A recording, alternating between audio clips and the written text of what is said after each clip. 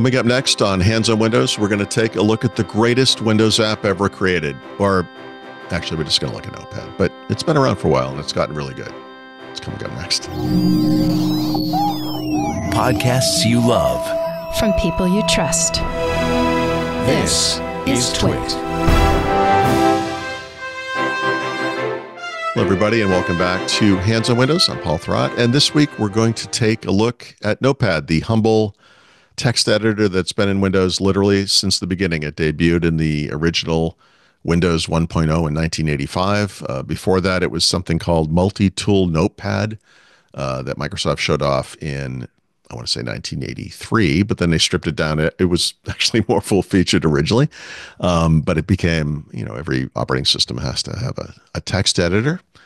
And so it does. But this this simple app, this uh, this text editor, right? It literally just works with dot .text files. Doesn't have a lot of extra stuff going on.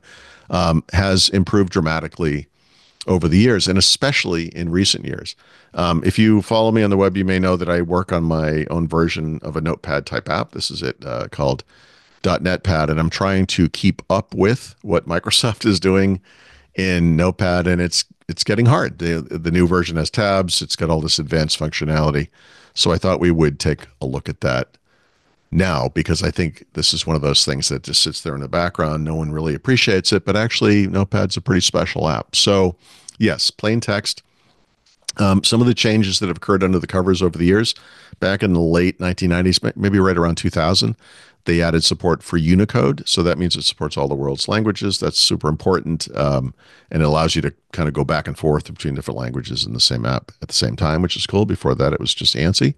Um, far more recently, in I want to say two, three years ago, they added support for uh, Unix and thus Mac OS style line endings. And so if you look down here in the corner, you'll see it says Windows CRLF. Um, which is the window the, the way that Windows text documents are formatted for line endings, and then UTF-8 uh, UTF-8, which is the uh, Unicode um, encoding format. But if I was to let's see, I could save this thing. Um, I can't actually change the well, actually, maybe I can't No, yeah, I can actually. So you can change the different uh, encoding formats here if you want to. Nobody does this, but it's it's it's there because we have this subsystem for Linux, sorry, built into the system, and that allows you to interact with text documents. That might be part um, of that operating system as well. Um, some of the changes I remember over time uh, in Windows NT and I think in Windows 95 as well, they gave you the option to actually choose the font that you use. Um, the default font has changed at least three or four times over the years. There was a brief moment in the Windows uh, 10 timeframe where Microsoft was actually going to pull this thing out of Windows and put it in the store for people that wanted it. But then they started uh, improving it again. They realized we need to keep this in here. And in Windows 11, it is, like I said, it's improved dramatically. So you see this tab based UI, you can add tabs, close tabs, etc. Um, they've kind of tightened up the UI. It's modern looking. Um, it supports dark and light mode. So I'm in uh, dark mode here in the system, but I could arbitrarily go to light mode or just dark or just use the system, which is what I usually leave it on. Um, it has a beautiful find and replace. Actually, I got to type something. So you bring up the find box, you can expand it for replace. Uh, kind of floats there. This is a very unique kind of modern UI. It's very nice. I haven't been able to duplicate it. it's kind of irritating, uh, but it's really nice. It also does spell checking, right? So that's not a word. And I could uh, add that to the dictionary, but I won't because it's not a word. but um, it has uh, uh, autocorrect, right? And so I, I, haven't been able to trigger this today for some reason. But you know, when you type something like the quick brown font, you would think that one of these things would, uh, you know, but it doesn't. But it will it will autocorrect uh, from time to time as well.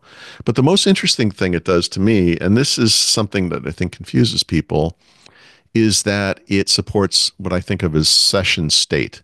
So I have this document that I've not saved. You can see from this little thing here that it's not saved.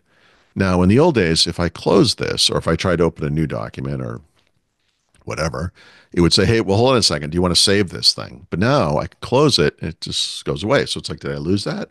No, because it saves the session state by default. It just brings it back. So it will keep doing this. I could add more of these. I could add uh, windows, but it will keep coming back. So that's kind of interesting. Um, personally, I don't like it. I, I, put this back to the default so you can see it. This is the way you will see it on your own system. Um, but I actually turn that off. I don't like it. Um, the other thing it does by default is it opens new documents and tabs, right? So if I go to the desktop and I open a text file like this, um, it adds it as a new tab instead of as a new window, right? Um, and you can, I'm just going to get rid of this thing, but you can, can, oh, let me actually, let me do that. You can, he says, uh, change that. So you can have it open a new, a new window if you prefer that. That's actually the way I configure it myself personally, but um, this is an option now. So I think that it's, you know, it's pretty sophisticated. Okay. So that's all really interesting. Um, but there's something else. So in Windows 11 24H2, and it's only in certain countries. I know it's US, Canada, I want to say Western Europe, and then a few other countries, and it's going to expand over time. And it's only, I believe it's only English for now. They've added this thing here to the toolbar uh, called Rewrite. This is this is actually really exciting.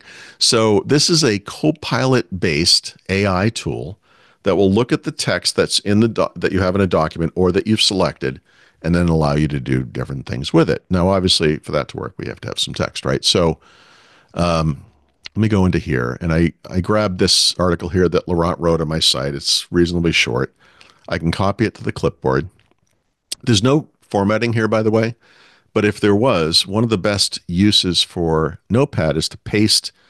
Actually, let me just do that first. Like paste something that has a bunch of stuff in it, right? So I could start like a um, uh, a copy here. So I have got like this thing is a format, you know, this is a certain format. This is a hyperlink. These are little images. This is a big image. And when I paste that in, all I get is the text. It just strips everything out. Uh, Notepad is wonderful for that. Um, if you use it for anything, it might be just for that. It's really, really good for that. Uh, but here, I'm going to take this article. I don't recommend writing an article in Notepad, although, you know what? it's probably getting pretty good. A little spelling mistake there. Um, okay, so now that we have some text, this thing lights up and you can see what the various options are, right? You can rewrite it. You can rewrite it in specific ways, make it shorter, make it longer, change the tone, formal, casual, inspirational, or humor, and then change the format. And this this thing works amazingly well. If you think about what a typical tech blog has been for the past 20 years, uh, the, a human being somewhere in the world is probably reading a press release or an article or a blog that Microsoft or some other company has written, and then they rewrite it. And that's literally what this does. So in this case, I'll just click rewrite, rewrite. You can see, you know, we got the AI pink, purple, blue, you know, the standard colors we always say. And then you get this rewritten version. Now, to understand what's happening here, let's make this big so you can see it. I can't I can't move this thing unfortunately, but the original here is about 2,000 characters. And it says Microsoft will have some Surface for Business news at the New York stop of its Microsoft AI Tour on January 30, 2025. And then this first sentence is basically that first sentence, but just rewritten, right? Microsoft is set to share updates regarding Surface for Business during the New York leg of its Microsoft AI Tour on January 30, 2025. Okay. So those two things say the same thing. Now, it's not always going to be perfect, right? Um, but it does a pretty good job. But here's where it gets really interesting. So that that alone is pretty good. Maybe that's what you're looking for. Um, but you can also edit it for length, right? You can make it shorter or longer. So I'm going to replace the text so you can see what the difference is. It actually is just a couple of characters longer. So this is roughly the same size as it was before. So I'm going to go back to the original. And now this time I'm going to rewrite it to make it shorter, right? So same thing. It works on it, works on it. Um, again, a little over 2,000 words. So this is, it's not going to be a lot smaller. I'm going to cancel that. Let me just get out of there. Discard it. Do a new one and just paste in what I got. And so you can see it's 1,647 characters. So it's a little shorter. Um, I can pull that out. That's one of the fun things about tabs. You can kind of compare the two. And again, it's just rewritten. It's, it's, uh, not dramatically different, but it is a little shorter. That's pretty good. But I'm gonna I'm gonna I'm gonna use my favorite version of this. Not that I would ever use this in the real world, but rewrite this thing as a poem. Um, this is surprisingly good, or it can be. Let's see what it says. in May, the Qualcomm Surface Pro 10 appeared. With Laptop 7, the Copilot Plus was declared. In September, business models joined the fray. a new Surface Pro 10 with 5G on display. I mean, that sounds like a Christmas song. It sounds like a Dr. Seuss book. I mean, it's it's pretty good. It's it's uh, it's not Shakespeare, but it's uh, it's not it's not bad. Um, I don't think most people actually want that, but it's it's kind of fun, and you can do other things too. Like we we will uh, let me go back to the oh they have different variants. Sorry, that's not what I wanted. But you can go and say, well, I want this as a bulleted list. Um, there's different versions of this, but um, let me just go back. It, this is a surprisingly useful tool. It's bizarre to me that this thing is in um, Notepad, right? So part of the changes to Copilot that I glossed over in a recent episode about the changes to 24H2 is with the new Copilot app, they've gone from a, a, a model where some things were free and some things were paid. And now the things that were paid, everyone can access up to a point for free. So if you click on this, uh, where do you click? Where do I see this? Yeah, here. So you see here, I've got this says 28. So this is like my AI credit balance at Copilot, right? And so every time I do this, I use a credit, right? So I can't just do this forever and ever. Like eventually they're going to say, hey, uh, you can't use this anymore for the rest of the month. You've run out of credits, or if you'd like to, subscribe for the you know the paid version of Copilot. So that's the little upsell. So this gives everyone an opportunity to see something that previously might have required Microsoft Word, Microsoft 365 commercial or consumer, plus a paid version of Copilot. But now you can sample it for free right inside of uh, Notepad, the simplest app on earth. Except now suddenly it's not the simplest app on earth. It's kind of incredible. Um, so there you go. That's kind of neat. You may not have that on your computer yet. If you don't, you should have it pretty soon, uh, sometime in the next couple of months. Um, before we go, though, I wanted to just share a couple of other tips related to Notepad. I use Notepad every single day. You may recall from the episode we did on uh, Paint a few months back, I think back in October. I also use that app every, single day as well. Um, and I've, you know, developed my little habits here. So you can right click on the pin here for the app in the taskbar and you see this list of recent documents, which is super useful. This thing here at the top I use a lot. Um, I use it enough that it's often in this list, but every once in a while it's not. And so what I would have to do before was go, I know where it is. So I can go into my, um, I can go into my, it's in here somewhere. Here we go. I can go into my book folder and find it. So I can go just launch it that way. But uh, you can pin this. This isn't a notepad feature, but it's it's particularly useful for me with notepad because I use it all the time. So you can go to any one of these and just pin it and will always be on that list. So even if it runs off the recent list, you'll always have access to it. That's kind of cool. Um, I also mentioned that, uh, um, yeah, get rid of that thing. Um, that by default, new tab is the the method, not new window, right? So for example, if I type Control plus N, it does new tab. If I control Control T, does new tab. But what if I actually do want a new window, right? Um, the shortcut is Control Shift N, and it brings up a new window. So um, I actually just turn it off so it always does new window. But if you want to leave it on the tab interface, it does consume less resources if you use a lot of uh, documents at one time. Um, you can still have a new window if you want it and just do the shortcut. I think, yeah, you can do it from the menu as well. So that's good. Then, if you are, I, I don't want to say a Luddite per se, but if you looked at everything that I just showed said, nope, I don't want anything to do with that. I want a much, much simpler version of this app you can get it. Um, I don't necessarily recommend it, but I'm going to show you how against my better judgment. Um, I'm having some settings app issues here, so it's taking a while, but that's okay. So you need to do two, two things. So first, you have to go into the Windows System 32 folder. If I can figure out alphabetical, and then you got to go find the executable for Notepad, which of course is under N. Scroll, scroll, scroll. It's down in here somewhere. Boop. Okay, uh, I went by it. Okay, so here's the old, and you can see this has got that old Windows Vista glass style. So this is this is the old version. Um, now, if I run this, oh, I already fixed it. I think I already screwed it up.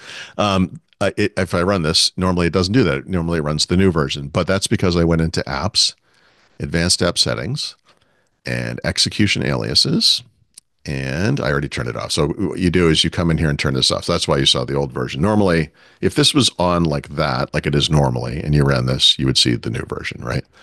So you turn this off, and then you run this, and you get the old version. This is literally the old version. So this is this is dating back to the very early 2000s. Um, you know, the old menu, the big menu, the old font uh, thing, the about box, all this stuff from the past, right? If you want a new, you could you can do a, a new window. Um, there's no tabs, old UI. There's no support for dark mode. This is just straight up Win32 app.